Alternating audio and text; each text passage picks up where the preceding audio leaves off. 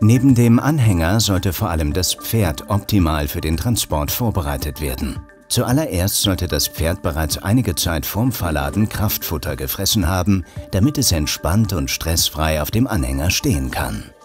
Ich würde einfach empfehlen, die Fütterungszeiten, wenn es geht, rechtzeitig vor den Transport zu legen, dass auch eine gewisse Verdauung schon da ist und dass das Pferd äh, nicht noch im Futtereifer ist, wenn es verladen wird.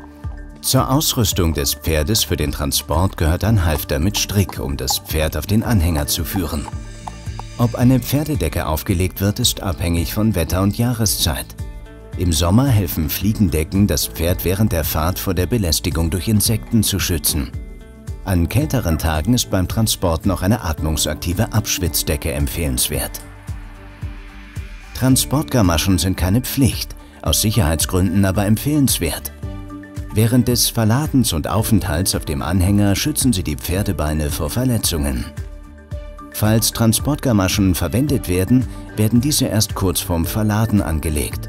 Nach dem Abladen werden sie zeitnah abgenommen, damit sich die Wärme an den Pferdebeinen nicht staut.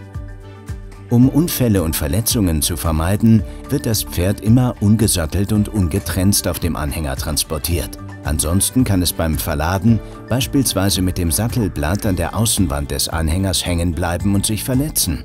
Zudem ist die Fahrt so für das Pferd angenehmer. Das Risiko, dass äh, bei dem Transport mit Sattel fürs Pferd etwas passieren könnte, ist eigentlich viel zu hoch. Das Pferd fühlt sich auch unwohl. So vorbereitet kann das Pferd nun verladen werden.